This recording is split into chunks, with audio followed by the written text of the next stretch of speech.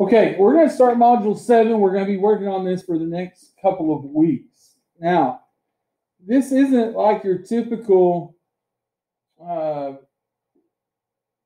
geometry assignment, okay? Uh, things that we typically go over. This one seems to be a little bit easier to work on, and uh, it's something that you're familiar with, okay? This is over polygons. Over the next couple of days, we're going to talk about polygons and their properties, and then we'll finish up with quadrilaterals and their properties. Okay, but we're looking at the polygons as a whole in different ways to name them. So the first thing, excuse me, that we're going to look at is what makes a polygon. Okay, what makes a polygon? Well, you have some stickers over here that says not a polygon and a polygon. So we're going to label some of these. So let's look at the first one, this circle. Okay, this circle is not a polygon. So you're just going to want to drag that over. This is not a polygon.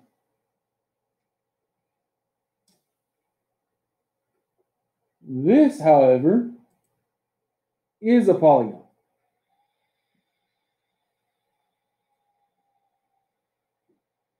No corners is no polygon. Yeah, the circle is not a polygon. This is a polygon. So what's the first difference you notice between what's not a polygon and what is a polygon? Corners. Corners. Okay. Can anybody be more specific than that even than corners? What's something else? What I, what you're saying is the polygon has corners on it. Okay. What else? Sides. Yeah, this one has sides. This one has only one side. And what are the sides? Round. They're round. Okay. This shape, this third one, is not a polygon. Now, it has corners. It has a corner right here. However, it also has a rounded shape. It has sides. But again, the main thing that's keeping this from not being a polygon is this curve. What about this one? What do you think this is going to be?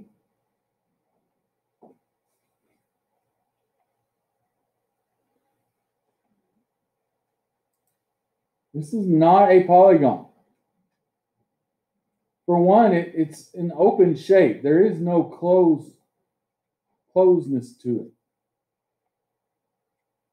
it. Okay?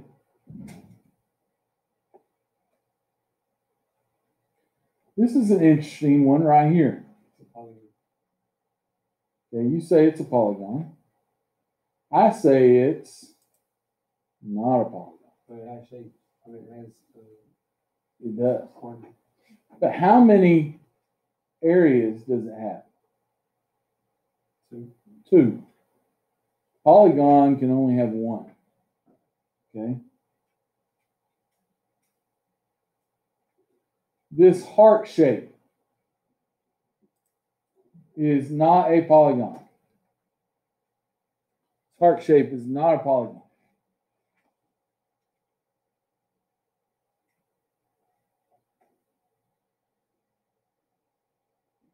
This next one. In fact, these last two are polygons. Okay, they are polygons. So let's talk about some of the characteristics that we've talked about. About why something is a polygon and why something is not a polygon.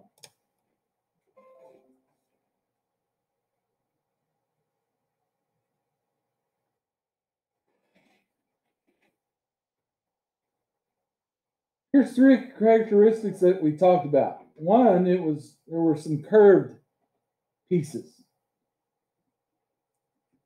Okay, it can't be a polygon and have a curve in it.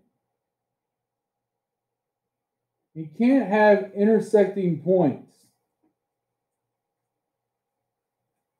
And the last one, it can't be open. Everything has to be closed off. It can't have curved. You can't have anything intersecting where you have more than one area. So I can use these to create a good definition for a polygon.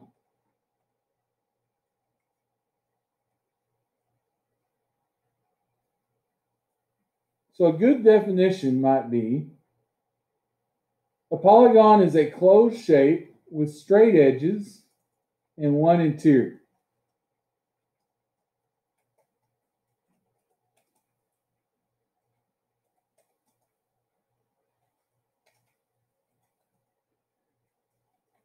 Now, does it say anything by limiting the amount of sides it has? No. So it could have 100 sides. As long as it fits this definition, it could still be a polygon. We don't normally see a polygon that large, but there might be. Now, guys, our Wi-Fi has been really spotty. I don't know if it happened in your first hour classes, but it's been really spotty this morning. So I'll try to keep an eye on it as we go along. So are we good? Now, we have a lot of notes today, and we're going to fill in a lot of blanks. But the blanks that we fill in today will make our work a whole lot easier from here on out. So that's the reason that we're doing it that way. Okay, let's talk about some different ways to classify polygons. One way is to label a polygon whether or not it's convex or concave. Now, what do you think of when you hear the word cave? Concave. What do you visualize in your mind when you hear the word cave? Okay. Oh, okay, but what describe it to me if I didn't know what a cave was. Somehow, a hole in the mountain. Hole in the mountain, dark hole. Something you probably don't want to walk into. There's no telling what's in the back of the cave. This time of year, it might be a bear, okay, or some sort of animal trying to sleep. Okay, I wouldn't. I'd stay away from caves as much as possible. Have you found? No, but I don't go diving in caves either. So I'm not exactly the cave shape of person to do that. I- stay out tight spaces. All right, convex. Here's a convex shape, a triangle. This is convex. Now, I like to describe it as if I were to pour water on this shape, the water would just fall off of it. Okay? But what happens if I pour water on this shape? See where the water might get stuck in this spot? has an indention in it. If I were to pour water on it and water is going to get stuck in a spot, that means it's concave. Convex, concave. So we have some other shapes over here. This one is concave. Again, if I can pour water on it and water stick is going to stick in an area, and that's the reason I label it that way. This shape is convex. As long as it doesn't have an indentation. And there's two shapes left. This one is also convex.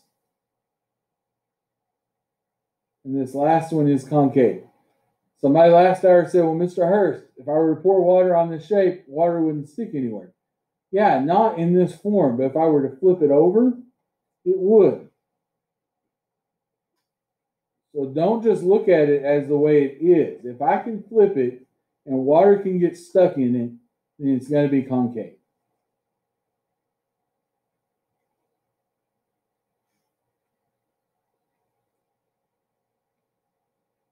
Convex, concave. Now, another reason notes are so important. You're going to be doing this assignment here in about 25 minutes. And it's going to say, please describe the shapes as convex or concave. Some of you are going to go, I have no, I, I, I don't remember what that was. If you have notes to go back and look at it, oh, that's what a convex shape looks like. That's what a concave shape looks like. Then it makes things a whole lot easier. All right, another way to classify polygons is by the number of sides it has. So we're going to name all of these polygons that have this many sides. Now, some of them we've worked with quite often. Some of these you might not know the name of, but they'll make sense. A three-sided polygon is called a triangle.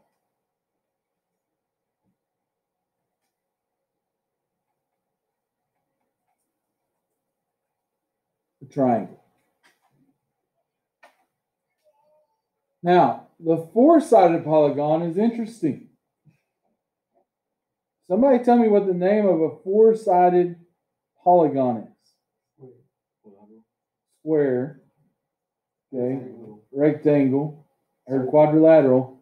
Squares and rectangles are a subset of the overall group. Jonathan was right. The overall group of a four-sided polygon is called a quadrilateral quadrilateral. That's the parent name. Like my last name is Hurst. My wife and my kids, their last name is Hurst, but they have different first names.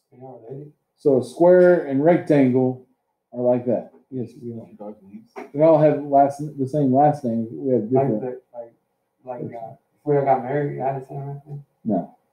Oh. No. It's not quite how that works. I don't think. You could have the same, same last name. You could. I did know some people that did. Both had the last name of Jones, and they, you know, she never did have to change her name. But notice, a three-sided polygon has the first name of tri, four-sided is quad, five. That is a pentagon. Penta means five. So a lot of these you're familiar with, you just might not be familiar with in terms of polygons. But you've heard the first parts of them before. Pentagon. Some of you might not have known this, but the reason that government building is called a pentagon is because it has five sides instead of a regular four, like a regular building. I told that to class one year, and they're like, "Whoa, I didn't know that." But yeah, it's the reason it's called the pentagon. Six-sided polygon is a hep- hexagon. Hexagon. Hex. If you ever have tools, a hex set. The reason that they're called hex keys or hex wrenches is because the screws have six sides on them, or the bolts have six sides on them.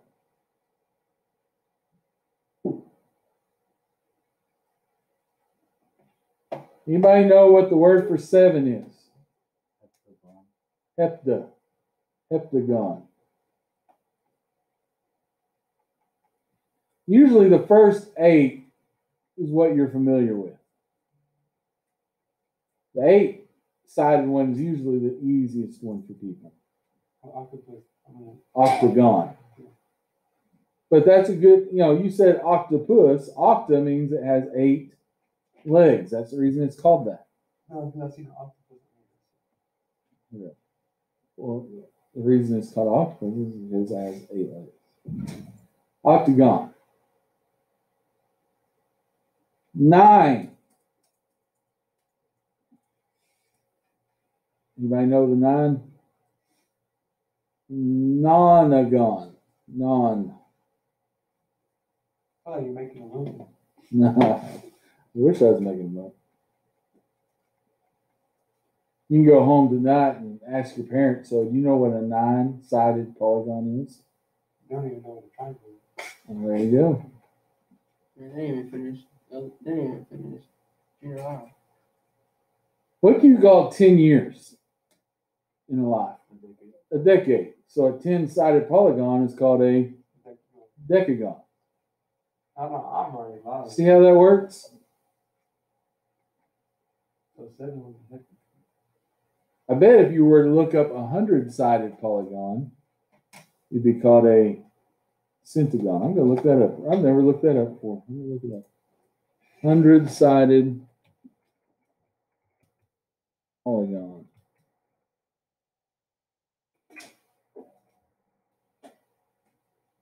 Is century. Oh no, it's a hectagon. I was wrong on that one. All right, 12 sided. Yes, we're skipping over 11. A 12 sided polygon is called a dodecagon. Doge, dodecagon.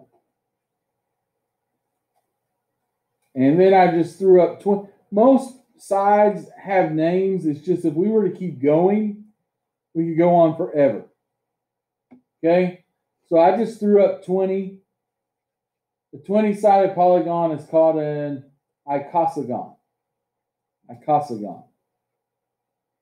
Now, we don't necessarily have to use names all the time.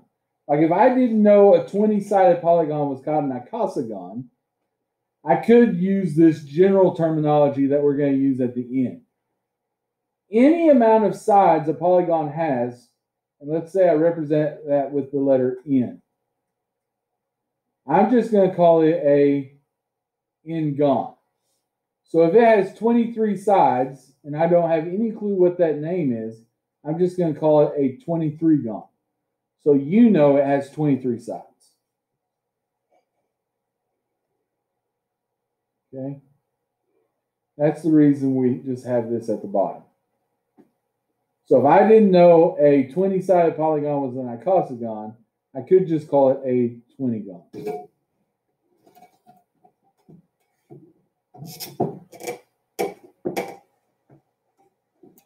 So I can classify polygons on whether or not they're convex or concave.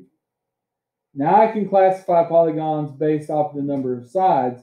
The third one is how to classify polygons based on their sides and angles. Are we all good with this slide?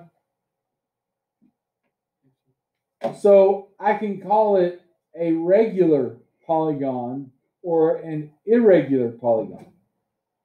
Both of these are pentagons. They both have five sides. One, two, three, four, five. One, two, three, four, five. However, a regular polygon, all the sides and all the angles are exactly the same. An irregular polygon has no sides or angles that are exactly the same, or not all, I should say. Some of them might be, but not all of them. So they're either regular, where all the sides and all the angles are the same, or they're irregular, where they're not.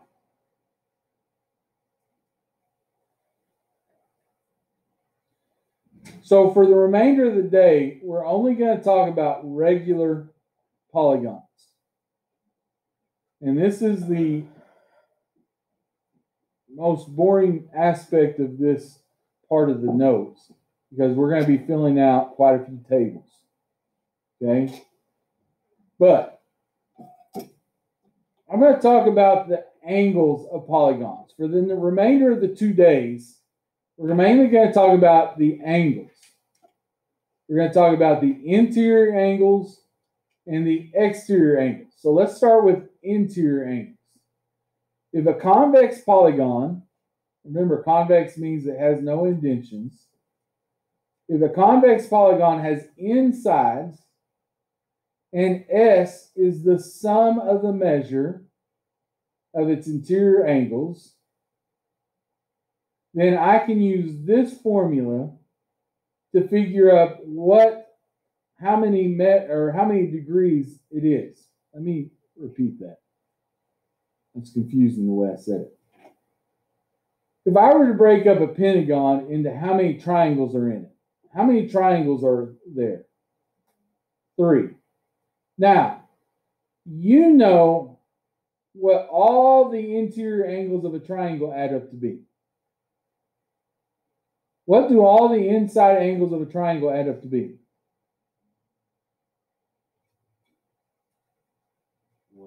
180.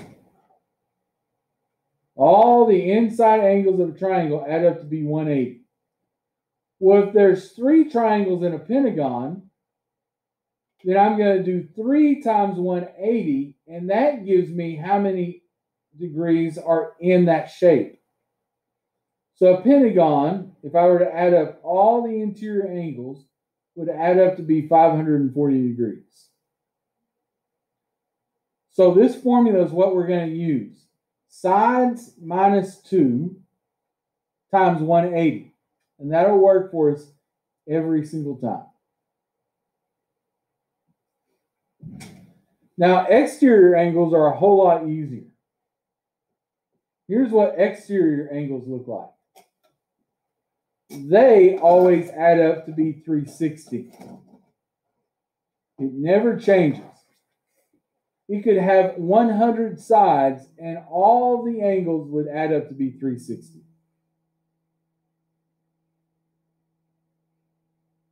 Somebody measured all the angles of a 100 sided polygon to prove that. We don't have to. It's always 360. Now, if I wanted to find each individual angle, I would take 360 divided by 3, and that gives me 120. Now, we're going to put in a little bit of work ahead of time so that we don't have to worry about doing these figures if we're talking about certain polygons. And I'll show you what that means here in just a minute. But we're going to start off with a triangle. Triangle has three sides. Well, how many triangles are in a triangle? It's not your question. There's zero triangles in a triangle. There are zero urids sitting in that desk. Huh? One. Now, you can do that by taking the number of sides minus 2. 3 minus 2 is 1. Or you just know a triangle has one triangle in it. I'm going to take that number and multiply it times 180, and that will always tell me the sum of the interior angles. So 1 times 180 is 180.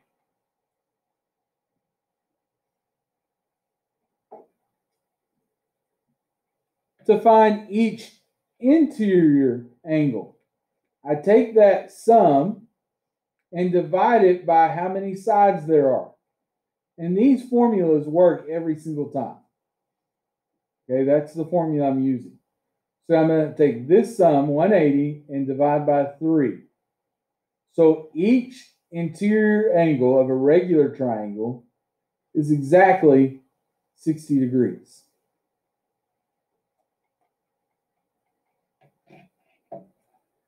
I guarantee there will be a test question that says, What is the sum of the exterior angles of anything?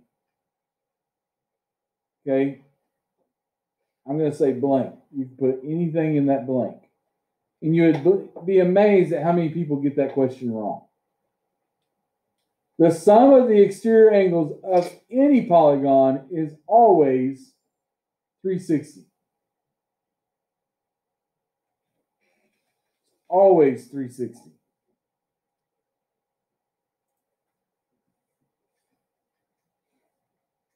And then to find this each exterior, you take that 360 divided by how many sides there are. So 360 divided by 3 is 120.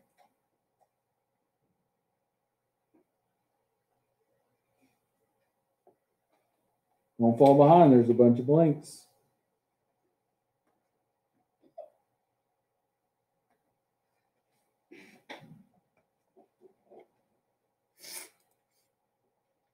So now we're going to start the process again with quadrilateral.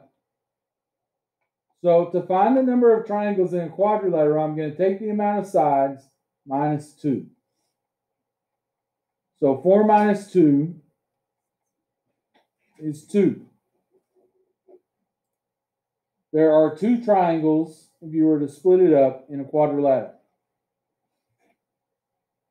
So to find the sum of interior angles, I'm going to take that 2 and multiply it times 180. So the sum of interior angles is 360.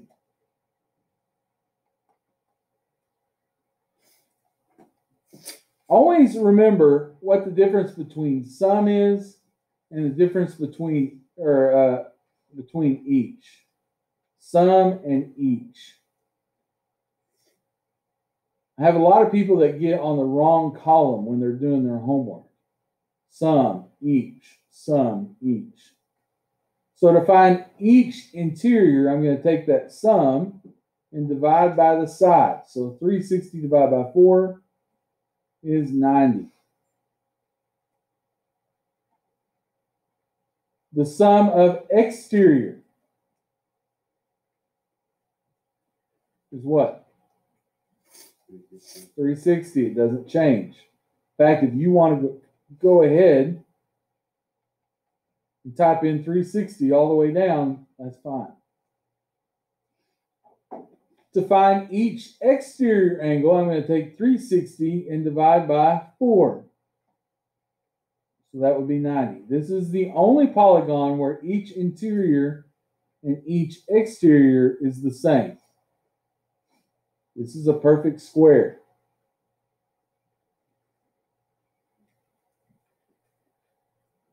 So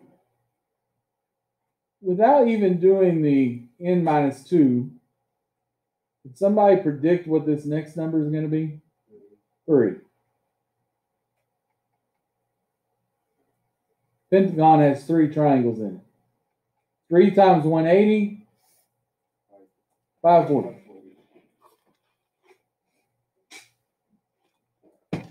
540 divided by 5 will give me this next box, 108.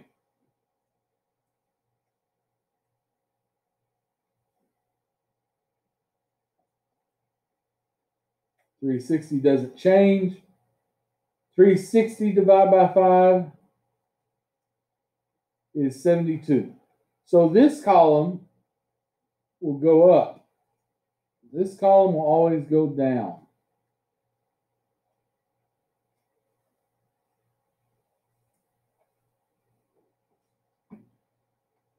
Hexagon. There are four triangles. Six minus two is four. Or you can go down list.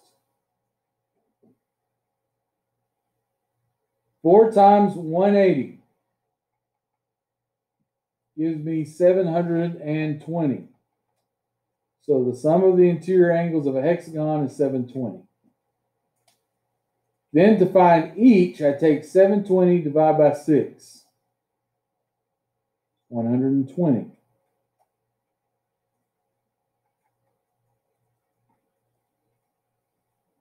Three sixty.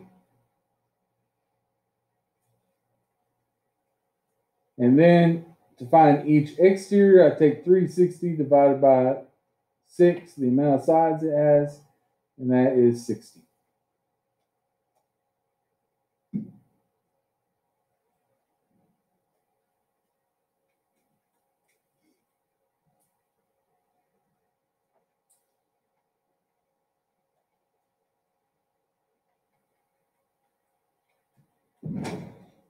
So here's the reason this is going to be helpful.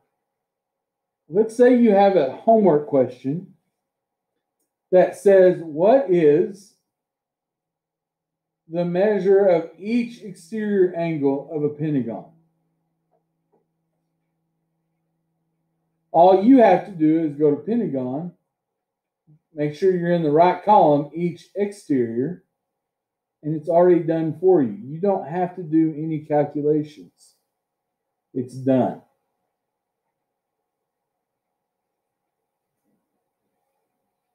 So we're trying to do some work ahead of time to help you in some of the work that you're going to be doing later. All right. So I want you to take a few minutes on this next slide and fill in the rest of these columns. Okay. If you're watching on video, pause it right now and fill in the rest of the column on your notes. Let's finish up this last one. In some cases, we might have larger polygons.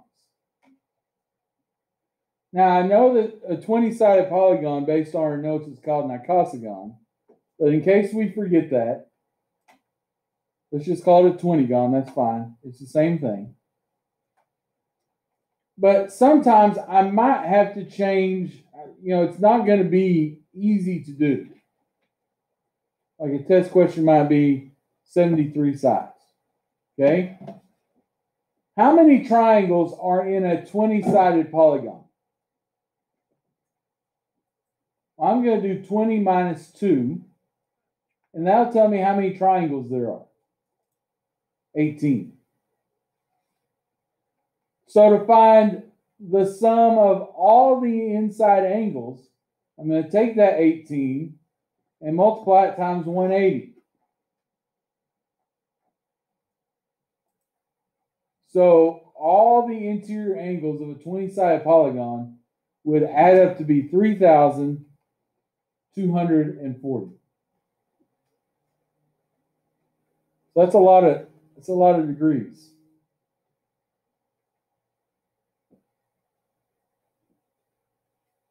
To find each, I take that sum, 3,240, and divide it by how many sides there are 20.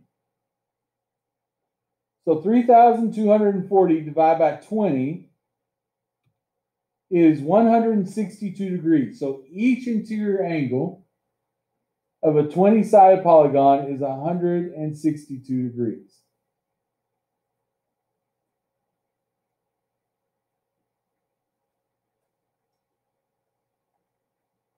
Now, what's the sum of the exterior angles of a 20 sided polygon?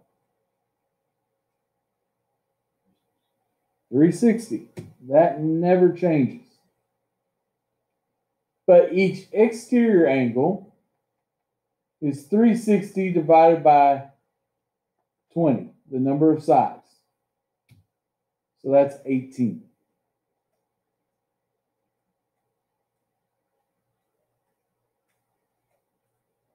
So the process doesn't change no matter how big the polygon is.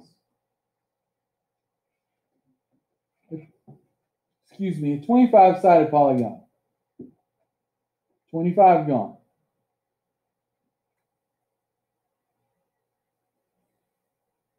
The number of triangles is 25 minus 2. It's 23.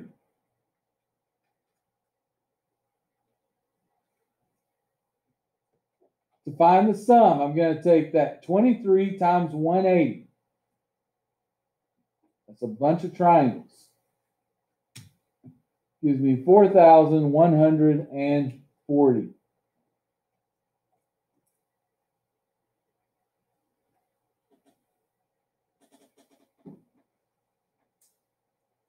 To find each interior, I take 4,140 and divide by how many sides there are. 25. So 165.6.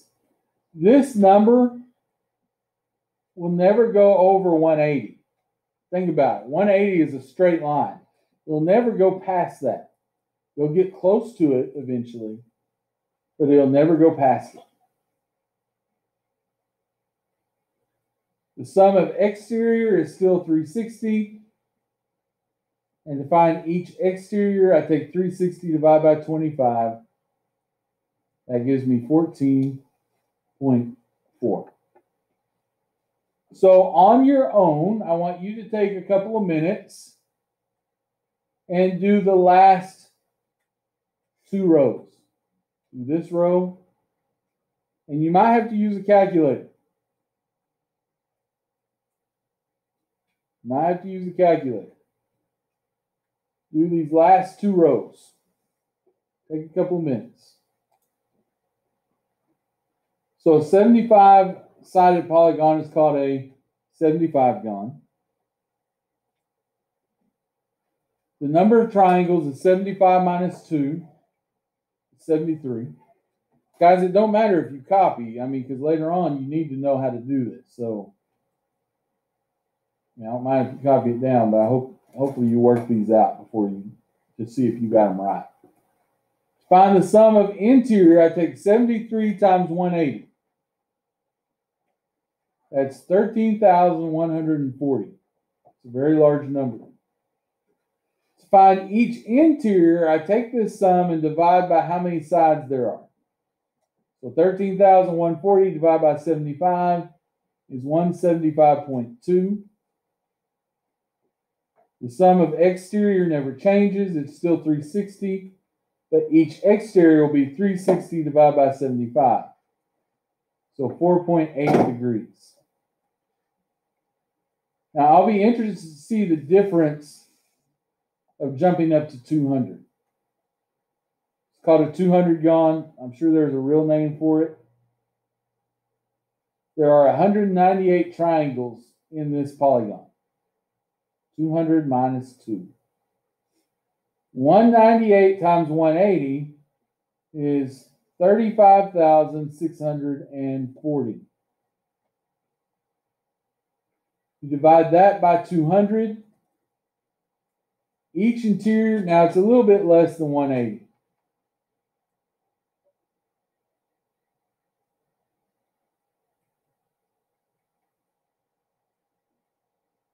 Sum of exterior angles is 360, and then 360 divided by 200 is 1.8 degrees.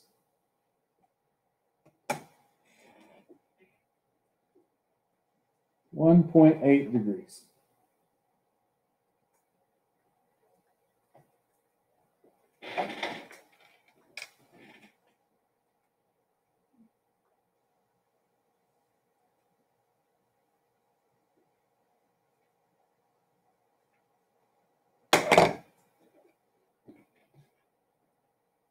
Even if you go up to 500,